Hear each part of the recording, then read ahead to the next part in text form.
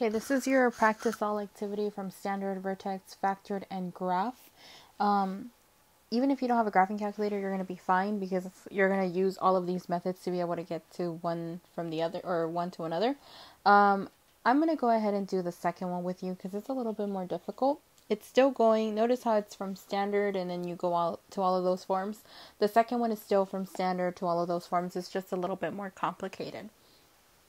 Now, standard form it's already done for you. Okay, so this here would be our answer. so let me box it. So that's my standard form.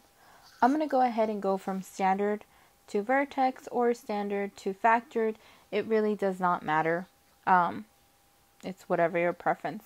I'm going to go ahead and go from standard to vertex because that's something we've been learning with the last few days.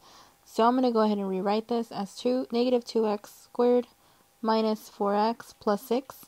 Remember, this is where you look at the first two and you ask yourself, is there anything you can factor out that is not going to take away that x squared?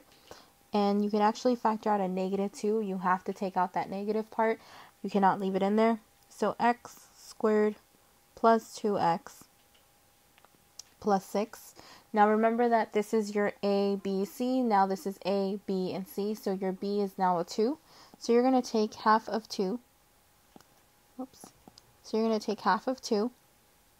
And then you're going to divide it by 2 and then square it. So I'm going to do that off to the side here. So half of 2 and then square it. That's going to give you a 1. That's the number we're working with. So I'm going to be left with negative 2x squared plus 2x plus 1 plus 6. Now remember you factored out that 2, so that negative 2 times that 1 that you just used, that's a negative 2. The opposite is going to be a positive 2. So now I'm going to be left with um, negative 2 and then your trinomial and then whatever's outside. Now remember this is your a is equal to 1, that's your goal. So 1 times 1 gives you 1, but also what gives you 2, so that's going to be 1 and 1. So I'm going to go ahead and do the next one. So I'm going to be left with negative 2 x plus 1 and x plus 1 plus 8. Remember that when these are looking the same, you're you're on the right track. And then finally, negative 2 x plus 1 squared plus 8. So this here is your vertex form.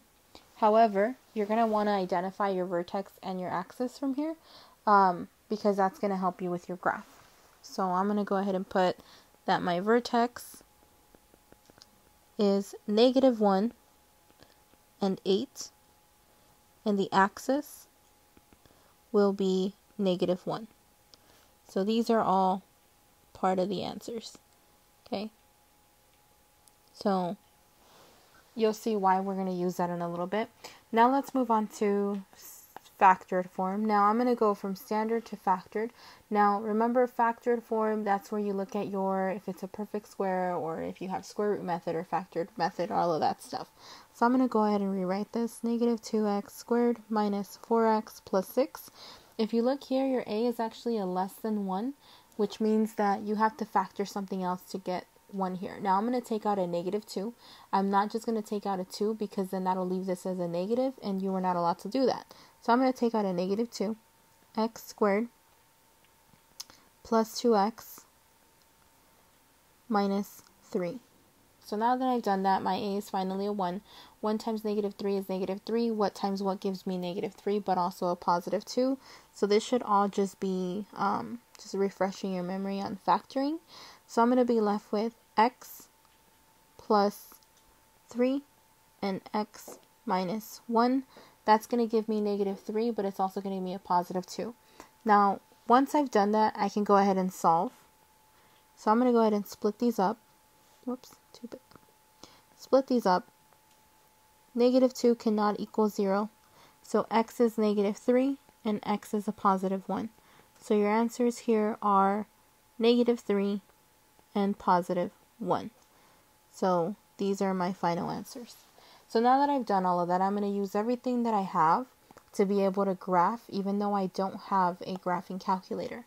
Remember your x values? I told you that these are your solutions, your x-intercepts, your zeros, your um and your roots. So if I look here, I'm going to actually graph these and I'm going to change the color to something we can see.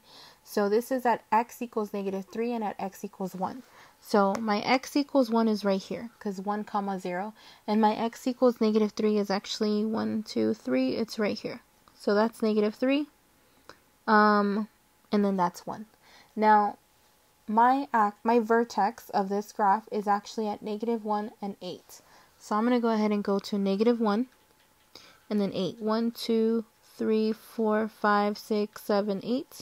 Whoops, not there. So this is where the top of the graph is. Okay, so that's your vertex. This is actually a maximum. Now, now that I have my roots, my zeros here, and my vertex, it's going to tell me where my, how my graph is going to look from here. So from here, you're just going to go ahead and connect it, and I'll change the color so you guys can see. So your graph should look something like this, and I'll trace over it right now. Okay, so this is what your graph should look like once you have everything.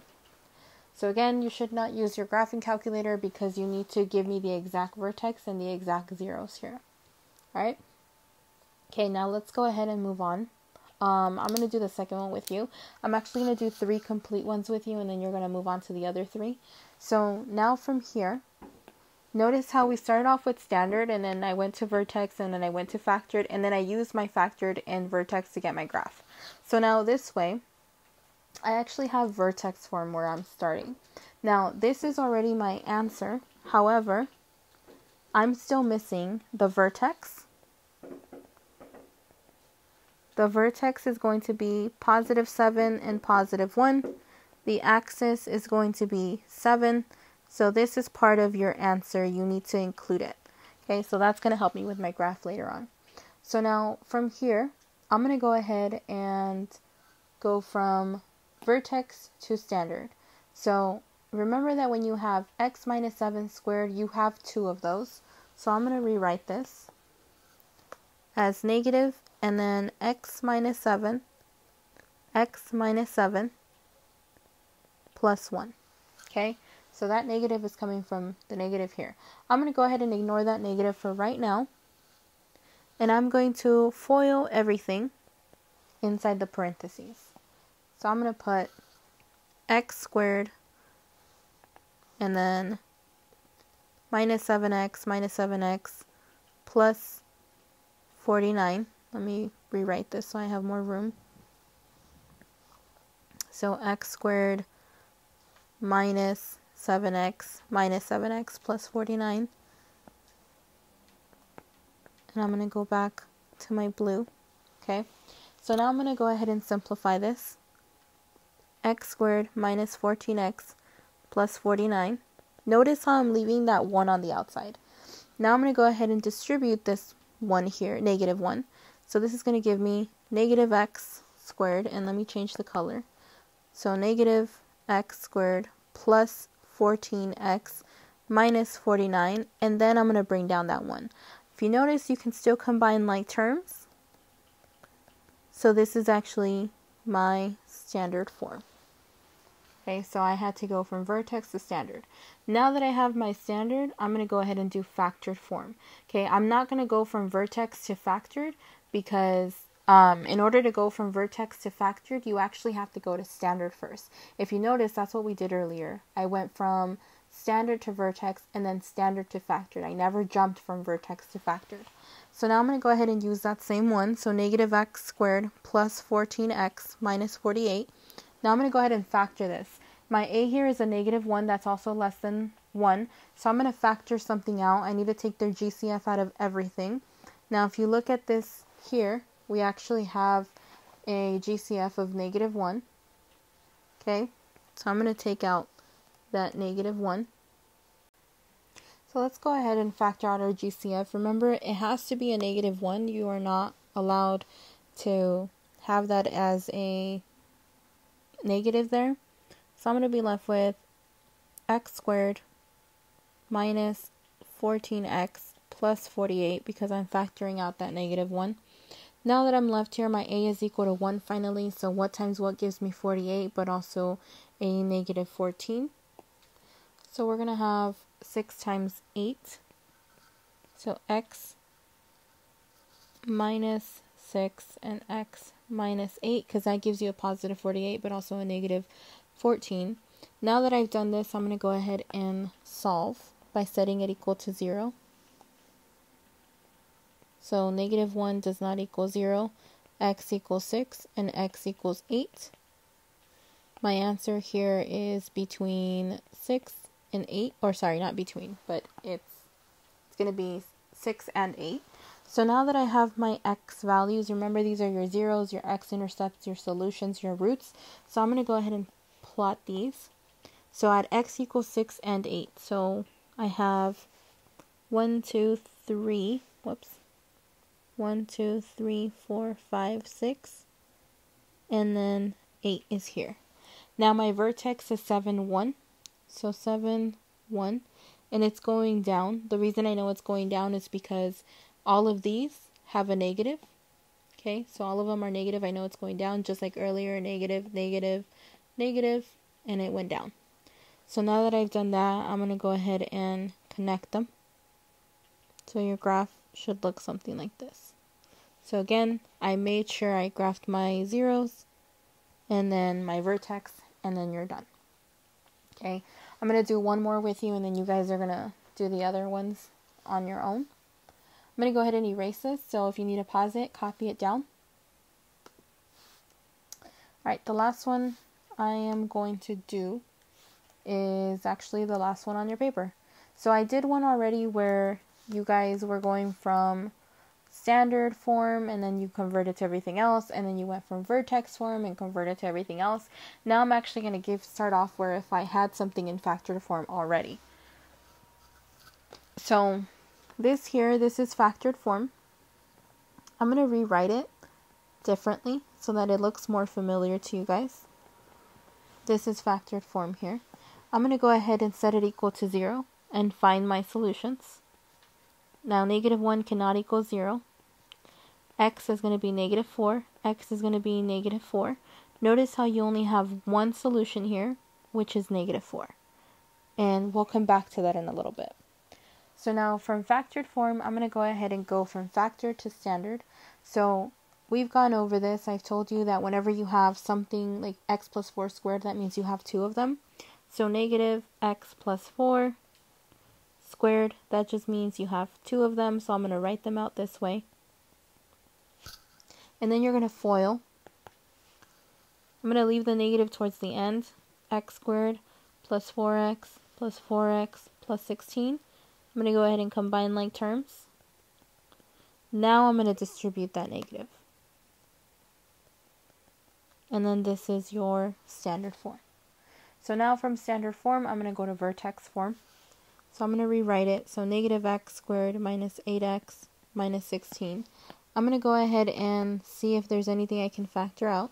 Now I can factor out a negative here, a negative 1, and I'm going to want to show that.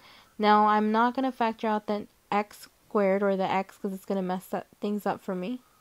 So I'm going to leave it like this. So now your b is a positive 8 this time. So take half of that, square it, you're left with 16. That's what I'm going to be dealing with. So negative 1, and I'll change the color.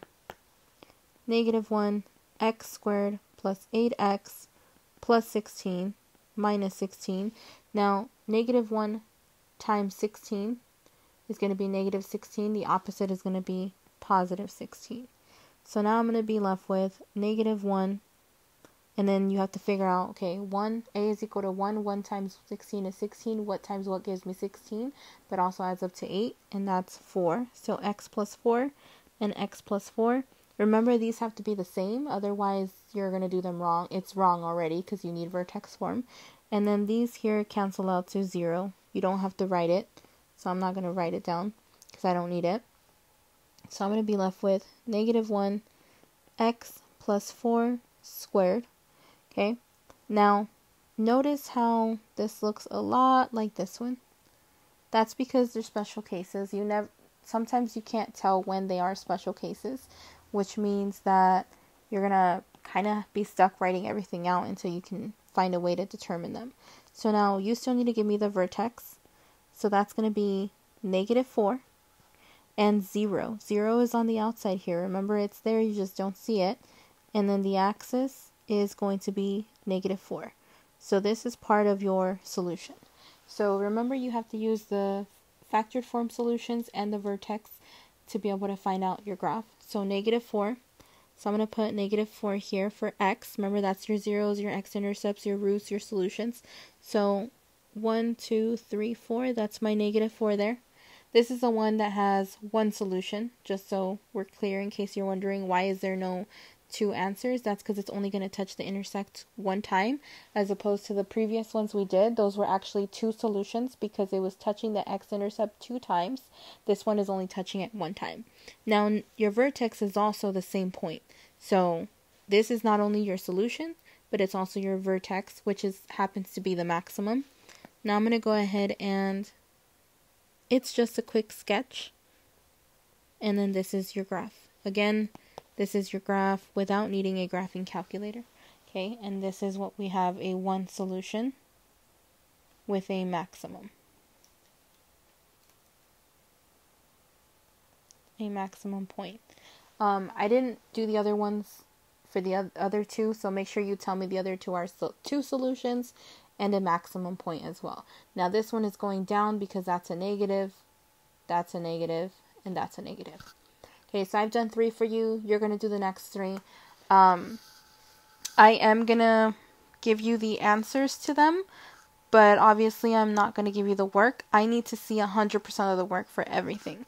I'm not going to give you the graph answers though, because you should be able to graph them knowing your correct solutions for your x under factored form and your correct vertex. So again, I'll give you the answers, but I still need to see your work. Alright, go ahead and get started. Finish that up.